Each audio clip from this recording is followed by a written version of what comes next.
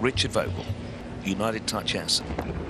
And there you see this man searching the forwards distance. Like I said yesterday, searching the forwards distance. Eight strides. This horse has got so much stride.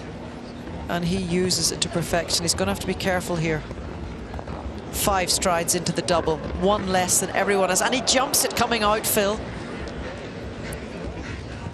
Get this, get this, get this. Still clear, 35.25. It's going to be very close indeed. He's going to stop the clock in 35.11.